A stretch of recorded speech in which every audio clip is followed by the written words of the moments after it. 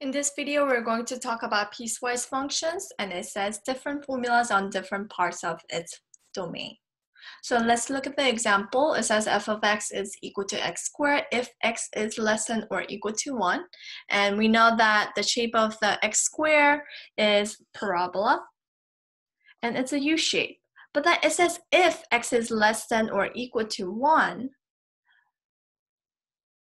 that means we can include 1, right? 1 comma 1.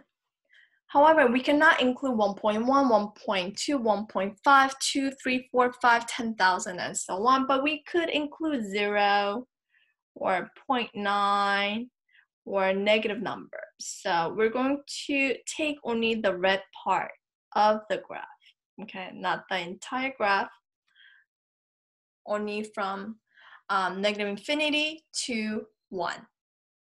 Let's look at the next one. It's a linear graph. You can graph the linear graph by using the y-intercept, which is 0, comma 1.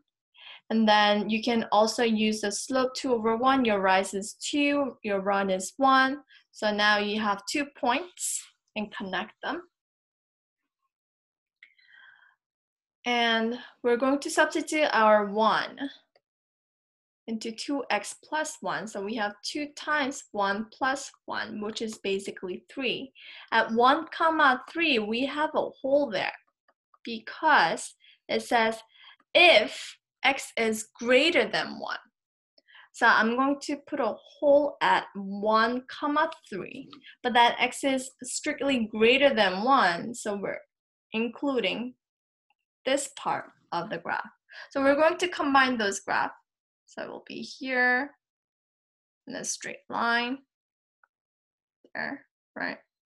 And the parabola part is 1 comma 1, but it's filled in circle. And then we have a U shape. Right. So this will be your final answer for a piecewise function.